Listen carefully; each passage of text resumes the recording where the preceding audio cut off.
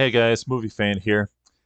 I just finished watching a huge marathon of Leave It to Beaver. It was on MeTV and on FETV. Obviously, because Tony Dow has passed away, they were all the best episodes of him. And I'll tell you this I'm glad to see it.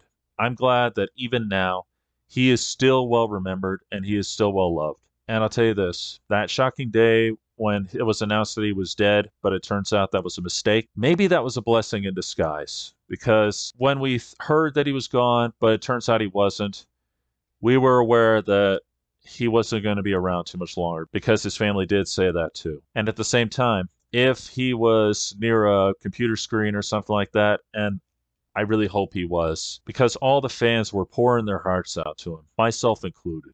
To be as famous as he was, most of the time stars are forgotten, especially child stars.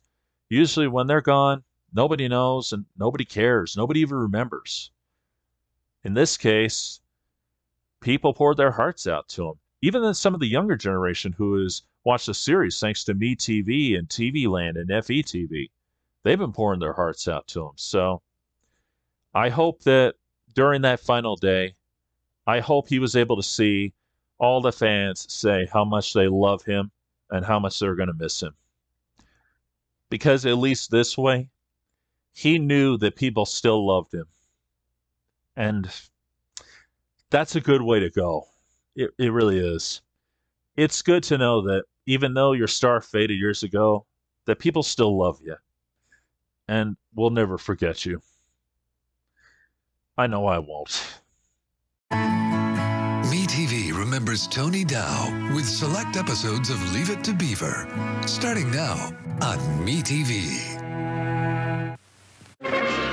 Leave It to Beaver, starring Tony Dow.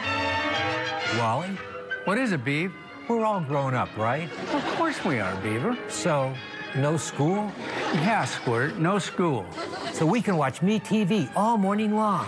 Yeah, Beav. You can watch me on me. Can I say it? Go ahead. Watch me on me. Me TV.